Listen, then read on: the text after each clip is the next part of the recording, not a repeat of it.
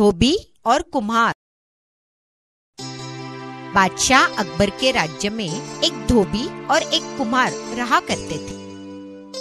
एक दिन धोबी के गधे ने कुमार के आँगन में घुसकर उसके सारे मिट्टी के बर्तन तोड़ डाले। धोबी की तरफ़ से नुकसान भरपाई पाने के बाद भी कुमार नाराजी था।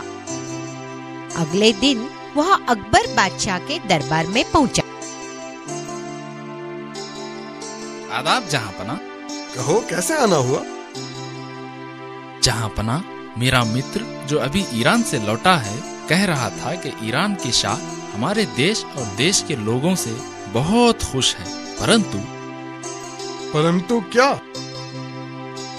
लेकिन शाह का कहना है हिंदुस्तानी हाथी काले और गंदे होते हैं। उनकी सेना में वो सफ़ेद और साफ़ हाथी है और जिन पर उन्हें बहुत गर्व है। तो हम क्या करें?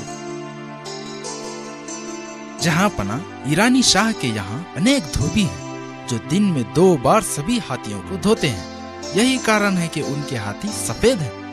अकबर बादशाह को उस आदमी के इरादे पर शक हुआ। हाँ अच्छा तो ये बात है। तो एक काम करो हमारे शहर में जितने भी धोबी हैं उन्हें बुलाकर हमारे हाथियों को भी रोज साफ़ करने के लिए कहो। जहाँ पना सारे धोबियों को बुलाने की ज़रूरत नहीं है। मेरे घर के पास बहुत मेहनती धोबी रहता है जो इस काम को बखूबी कर सकता है। वो अकेला ही काफ़ी है। यह बात सुनकर बादशाह अकबर का शक निश्चय में बदल गया। दरवान इस धोबी को हाजिर करो। धोबी को बादशाह के सामने लाया गया। देखो सारे हाथी सफ़ेद होने तक उन्हें साफ़ करो वरना तुम्हें सजा मिलेगी। कुमार को देखते ही धोबी समझ गया कि सब कुछ उसी का रचाया हुआ खेल है। धोबी हाथियों के पास गया। उन्हें रगड़ रगड़ कर साफ़ किया। लेकिन हाथी काले के काले ही रह गए। दूसरे दिन हाथी अब तक काले क्यों है? जहाँ पना मुझे लगता है हाथियों को रगड़ने के लिए यदि एक बड़ा मिट्टी का बर्तन मिल जाए तो निश्चित ही हमारे हाथी ईरानी शाह की हाथियों से अधिक सफ़ेद हो जाएँगे। बादशाह अकबर जानते थे कि अब धोबी कुमार के पीछे पड़ गया।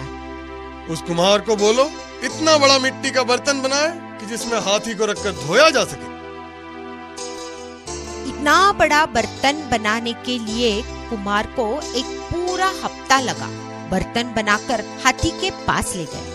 लेकिन जैसे ही हाथी ने उस बर्तन में अपना एक पाव रखा वैसे ही वह बर्तन टूट गया। तुमने बहुत ही कच्चा बर्तन बनाया। जाओ फिर से एक बेहतर बर्तन बना के लाओ। कुमार समझ गया कि उसकी चालाकी पकड़ी गई है और तुरंत ही वह बादशाह के कदमों में गिर पड़ा। तुम बहुत ही झूठे और चुगलखोर हो। तुम्हें सजा ज़रूर मिलेगी। शाबाश!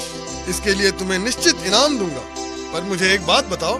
कुमार पर भारी पड़ने की है चतुराई। तुम्हें कहाँ से सूझी?